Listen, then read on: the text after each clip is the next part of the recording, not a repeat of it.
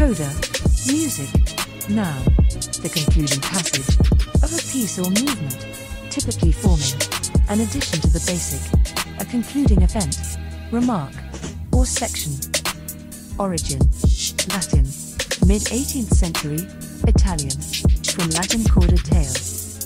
The name coda is primarily a gender neutral name, means concluding section of music.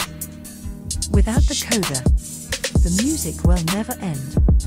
You will be chasing the dragon's tail you can never find. That is pure insanity.